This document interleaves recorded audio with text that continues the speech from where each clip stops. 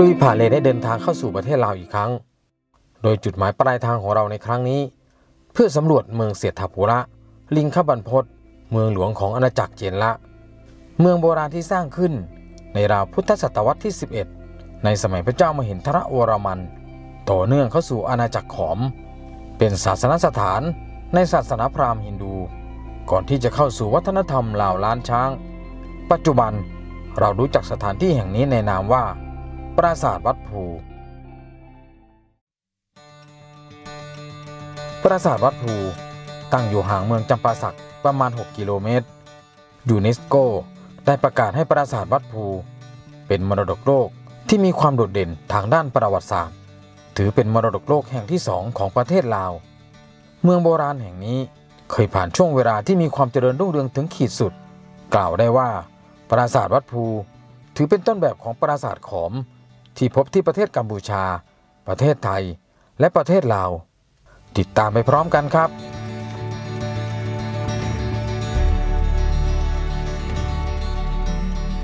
วัดภูนั้นมีนัยสำคัญ 3 ประการ เดี๋ยวผมจะเล่าให้อาจารย์วรวิทย์กับท่านผู้ชมฟังว่า ประการที่ 1 ครับ วัดภูเนี่ยเป็นโบราณสถานที่เก่าแก่กว่านครวัดนครธมเก่าแก่กว่าอาณาจักรขอม ตอนนั้นขอมยังไม่เกิด บบรรพชนเหล่านั้นเนี่ยนักโบราณคดีให้ชื่อท่านว่าอาณาจักรเจนละ เจนละก็มีสองที่ครับ คือเจนละบกเนี่ยอยู่ทางเอ่อที่ราบสูง แล้วก็เจนละน้ำอยู่ติดกับไปฝั่งทะเล แต่ต่อมาเนี่ยพระเจ้าชัยวรมันที่สองท่านรวบรวมทั้งสองเจนละเข้าด้วยกัน แล้วก็ประกาศให้เป็นอาณาจักรขอม นั้นอันนี้ประการที่หนึ่งนะว่าเอ่อเจนละนั้นเกิดก่อนขอม ปราสาทที่ ร่วมสมัยกับวัดภูเนี่ยอยู่ที่จังหวัดสุรินทร์ก็มีครับ ชื่อว่าปราสาทภูมิโปน เป็นปราสาทที่สร้างด้วยวัสดุอิฐเผาครับ ถ้าท่านไปที่วัดภูเนี่ยประการที่สองครับ เราจะพูดถึงวัสดุที่ใช้ในการก่อสร้าง วัดภูนั้นก็มาเหมือนเขาพระวิหารครับ ทางเดินขึ้นก็ต้องเดินขึ้นตาม slope แต่พอถึงที่เป็นองค์ปราสาทหรือเป็นโคปุระก็ต้องมีการตัด cut and fill ตัด slope เพื่อจะสร้างปราสาท ตรงยอดเลยที่เป็นองค์ปราสาทเอ่อสับเป็นปราสาทปรางค์เนี่ยก็จะต้องมีการตัด slope เพื่อให้เป็นแนวระนาบและสร้างองค์ปราสาทแต่ข้างหลังของวัดภูเนี่ยน่าสนใจครับ เขามีการสลักเข้าไปในก้อนหินเนี่ยมีทั้งพระพรหมพระศิวะพระนารายณ์อยู่ข้างดังนั้น ก็แสดงว่าบรรพชนในยุคนั้นเนี่ยนับถือทั้งสามเทพเจ้า แล้วก็มีศิลปกรรมที่สวยงามอีกอันหนึ่งครับ อยู่ตรงทับหลังเป็นรูปพระอินทร์ทรงช้างเอราวัณ สวยงามมากครับ ถ้าท่านขึ้นไปชมเนี่ยกรุณาดูที่ทับหลังนะจะเห็นประการที่ 3 ครับ วัดภูนั้นเป็นโบราณสถานที่ได้รับการรีโนเวทก็คือสร้างต่อเติม ในยุคต่อๆมาโดยอาณาจักรขอมเนี่ยเกิดแล้วนะอาณาจักรขอมเนี่ยก็ไปต่อเติมปราสาทวัดภู เห็นได้ชัดเจนครับ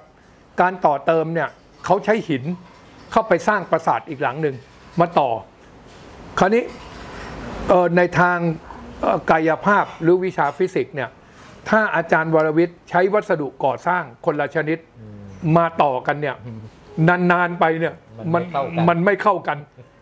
หักครึ่งเห็นชัดเจนครับถ้าท่านไปที่ปราสาทวัดภู ท่านจะเห็นชัดเจนครับว่า ตรงปราสาทหลังใหม่ที่ทำด้วยหินกับปราสาทองค์เดิมที่เป็นอิฐเผาเนี่ย แยกจากกันเป็นรอยแครกเห็นได้ชัดครับ แล้วก็สามารถซ่อมได้ไหม ซ่อมยากเพราะว่า โอ้อาจจะต้องเอาใช้ไฮดรอลิกไปดีโอ้ยุ่งยุ่งยากมาก เลยต้องปล่อยไว้อย่างนั้น เห็นไหมครับว่า การเสริมเติมแต่งโบราณสถานด้วยวัสดุคนละชนิดเนี่ยนานๆไปเนี่ยมันจะจับตัวยาก แล้วที่วัดภูยังมีอีกที่หนึ่งครับ ทางด้านทิศใต้นะท่านจะเห็นพิธีกรวดน้ำอมฤตเหมือนกันครับ เป็นสลักอยู่ที่ทับหลัง นั้นสรุปได้ว่าวัดภูนั้นสร้างเพื่อตอบสนอง ศาสนาฮินดู แล้วก็มีบาลายศักดิ์สิทธิ์เนี่ยอยู่ข้างล่าง อยู่ข้างวัดภูอยู่บนภูเขาครับครับ บาลายนั้นเป็นบาลายสองอันตีคู่กันครับ อยู่ทางท่านทิศตะวันออก มองลงมาจากองค์ปราสาทเนี่ยก็จะเห็นบาลายสองอันนั้น แล้วถ้าเกิดเอารถยนต์ไปจอดที่บาลายนะแล้วมองกลับขึ้นมา คือต้องมองกลับขึ้นมาไกลๆภูเขาที่สร้างวัดภูเนี่ยรูปร่างเหมือนเขาพระสุเมนครับ เขาเลือกเขาเลือก ภูเขาหลังนี้ภูเขาแถวนั้นเนี่ยมีต้องเยอะต้องแยะ ไม่ยอมเอาไม่เลือก อืมก็มาเลือกที่เหมือนเขาพระสุเมน เห็นไหมครับท่านผู้ฟังท่านผู้ชมครับ ปราสาทวัดภูนั้น มีการเลือกยอดภูเขาที่รูปร่างเหมือนเขาพระสุเมน เพื่อให้เกิดความขลังความเชื่อในสิ่งศักดิ์สิทธิ์ แล้วก็มีการสร้างตั้งแต่ยุคก่อนที่จะอาณาจักรขอมจะเกิด แล้วก็ใช้อิฐอิฐเผาเป็นเป็นเป็นวัสดุหลักนะ ส่วนหินทรายนั้นอยู่ที่ขอบประตูกับที่เป็นรูปเคารพต่างๆ ต่อมาก็มีการเสริมเติมแต่ง เอาหินเข้ามา วัสดุคนละชนิดก็จับตัวกันไม่สนิท แต่อย่างไรก็ตามครับ วัดภูยังมีเรื่องเล่าอีกครับเเรื่องของผู้หญิงแข่งกับผู้ชาย เหมือนกับพระธาตุนารายเจงเวง กับปราสาทภูเพกจริง ๆ นิทานเรื่องนี้นะผมพบแล้วเนี่ยสี่แห่งด้วยกันครับ แห่งหนึ่งที่ปราสาทภูเพกกับพระนารายปราสาทนารายณ์เจงเวงนะอะ แห่งที่สองก็คือวัดภูกับพระธาตุพนมครับครับ ถ้าไปถามคนท้องถิ่นที่เป็นเอ่อประเทศลาวในปัจจุบันเนี่ยคนจำปาสักท่านเหล่านั้นเรียกพระธาตุพนมว่าพระธาตุปะนมพระนมทำไมคำนี้เกิดขึ้นเขาเขาเล่าเป็นตำนานครับ หรือเป็นนิทานว่าช่างที่มาก่อสร้างปราสาทวัดภูเนี่ยได้ข่าวว่ามีผู้หญิงเปลือยอกเนี่ยไปก่อสร้างปราสาทอยู่ทางริมแม่น้ำโขงอีกอีกมุมหนึ่ง ทั้งหมดก็เลยแห่ไปดูอืมวัดภูก็เลยถูกทิ้งล้าง ไม่เสร็จก็เลยผู้หญิงชนะผู้ชายเขาแข่งกันผู้หญิงเขาชนะ อีกที่หนึ่งให้อาจารย์วรวิทย์เดาครับว่าอยู่ในประเทศไทย แต่ไม่ได้อยู่แถวอีสานเหนือนะ อยู่อีสานกลางๆผู้หญิงกับผู้ชายแข่งกันเหมือนกันอะอยู่ตรงไหนครับ แถวโคราชใช่ไหมครับ แถวโคราชครับ เป็นปราสาทพี่มายแข่งกับปราสาทพนมวันครับผมพี่มายนะผู้หญิงสร้างครับอืมส่วนพนมวันนั้นผู้ชายสร้างอืม ทั้งสามแห่งเนี่ยอยู่ในบันทึกของนักโบราณคดีชาวฝรั่งเศส ที่ชื่อว่าแอนเตียนอโมนีเยอืมท่านแอนเตียนอโมนีเยมาที่ภาคอีสานเนี่ยก่อนกรมพระยาดำรงจะเสด็จประมาณสัก 3-4 ปีเอ่อปะเอ่อผมจำคริดศักดิ์เอ่อจำพศไม่ได้นะแต่เอาว่าเอ่อท่านอโมนีเยเนี่ยมาที่นี่ก่อนที่กรมพระยาดำรงจะเสด็จมาตรวจราชการ แล้วอโมนีเยเนี่ยก็ทำบันทึกไว้เป็นภาษาฝรั่งเศส กล่าวถึงจังหวัดสกลนคร บอกว่าสกลนครเนี่ยมีประชากรประมาณ 300 ครัวเรือน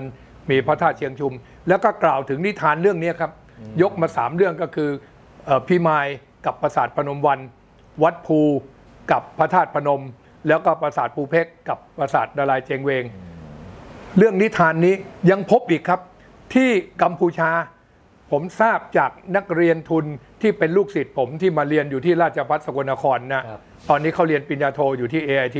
เขาเขายืนยันครับว่าที่กรุงพนมเป็นก็มีเหมือนกัน เป็นสร้างวัดแข่งกัน ระหว่างผู้หญิงกับผู้ชาย ดังนั้นนิทานเรื่องผู้หญิงแข่งกับกับผู้ชายเนี่ยไม่ใช่มีเฉพาะสกลนคร